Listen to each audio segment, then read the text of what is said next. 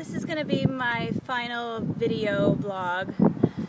I uh, I just want to say thank you to NASA for such an amazing opportunity to come out here to be treated to such to such a crazy awesome thing. I mean, this is one of one of the best moments in my life. Um, it, it must be a really awesome feeling to be on the social media team and to know that they're making so many dreams come true with each and every tweet up they do. This being the last one, um, at least for a shuttle launch. It was very happy, sad, I think, for everyone. Um, but the whole team did a, an excellent job.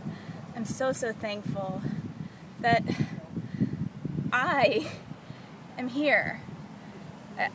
That still hasn't really set in with me yet. That I don't feel like I'm uh, anyone special. I'm just a Charlottean, um, 29 years old, hanging out, talking on Twitter because I enjoy the service, and somehow it's translated into one of the best moments of my life. So, just want to sign off, say, my NASA tweet up friends. I will be in touch certainly. So thankful to have met everyone, and um, I'll be checking in from Charlotte, I'm sure. I will be doing some other videos for the space crowd, which I'll post as I create them.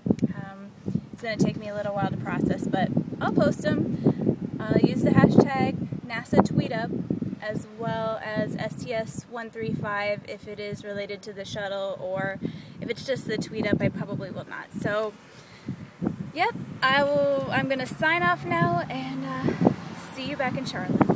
Bye-bye.